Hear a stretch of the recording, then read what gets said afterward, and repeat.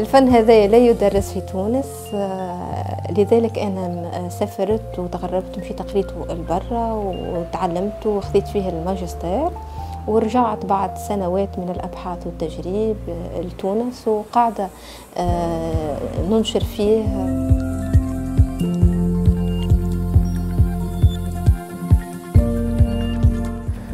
علاقتي بالمدينة العربية هي علاقة وجودية فلسفية تجمع ما بين الفن والإنسانية خاطر المدينة العربية هي في حد ذاتها لوحة فنية وفي حد ذاتها هي اللي تعطيك الطاقة الإلهامية إنك باش تبدع وتولي فنان.